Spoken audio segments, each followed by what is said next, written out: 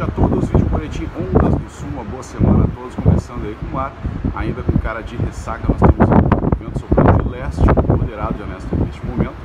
aqui na beira da praia, em frente ao parador Ondas do Sul, condições irregulares para surf, ainda rolando, a ondulação que era de sul deverá perder força na corrente, já perdeu força, no momento não há corrente,